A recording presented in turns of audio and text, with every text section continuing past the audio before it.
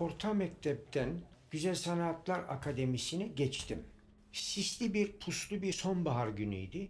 Bizi orada üç büyük hoca karşıladılar.